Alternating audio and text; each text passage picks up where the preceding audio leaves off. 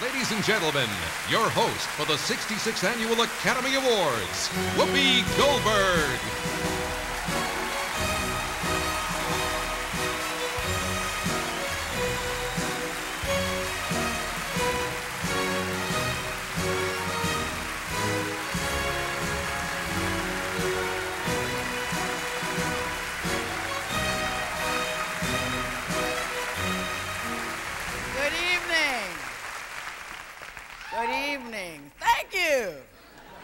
Welcome to Oscar 66. So they went and gave me a live microphone for three hours.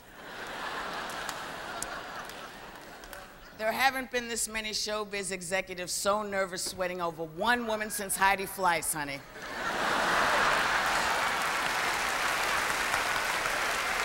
Yeah. You know, sure, unsure. Billy Crystal, thank you. Billy Crystal used to have a terrific way to open the show. You know, he'd come out and he'd do a bunch of cute, funny songs about the nominated movies. He got the crying game, I got Schindler's List. Billy knew when to leave. So, welcome to Hollywood's biggest night. This year we discover if Oscar's last name really is Schindler. There are a few different things this year. The Academy had to tighten its belt, you know, so instead of having an army of security guards, they hired Jack Nicholson and James Caan.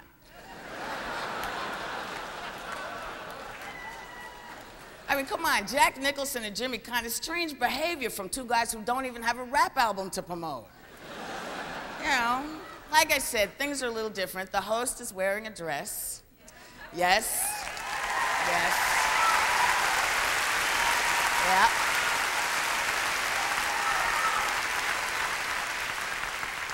And that is a first. So let me spare you the drama about the dress, darling, but thank God for Ray Aghayan. You know what I'm saying? I was walking around the house in this dress for six weeks because I know at least a half a million people are watching just to see what everybody's got on. And yes, please take note that Debbie Allen is wearing the same color and same fabric as I am. But she has a blessed breastplate. And what? A breastplate. Stand up, Miss Thing. Where are you? Stand up so they know, Debbie.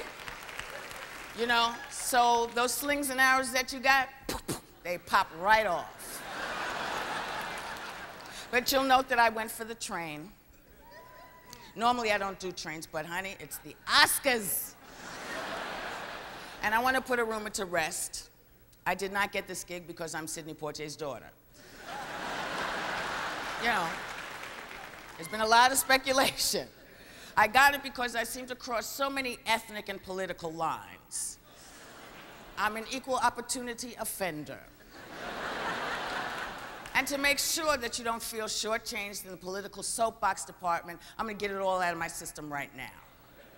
Save the whales, save the spotted owl. Gay rights, men's rights, women's rights, human rights, feed the homeless, more gun control, free the Chinese dissidents, peace in Bosnia, healthcare reform, choose choice, act up, more AIDS research, let Frank Sinatra finish. Look.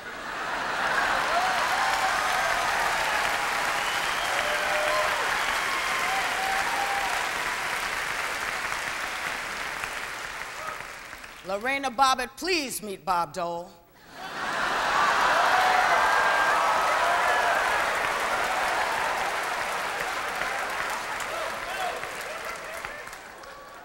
And somebody stop these damn earthquakes. Thank you. You know. Thank you.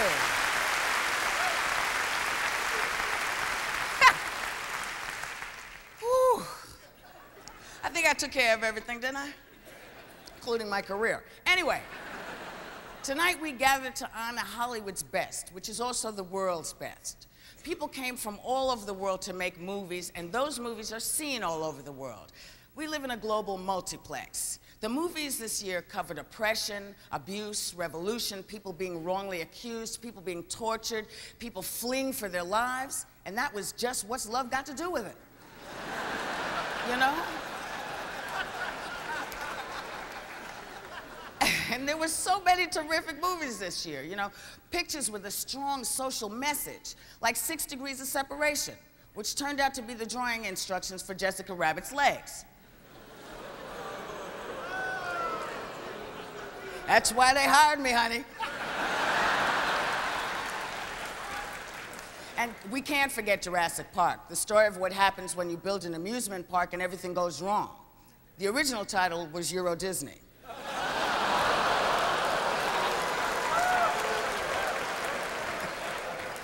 And that's one real estate fiasco they cannot blame on Hillary. You know? As usual, there were not enough good roles for women this year, but this time we can blame it on Holly Hunter and Emma Thompson. No, it's true, because they found all the good roles and played all of them.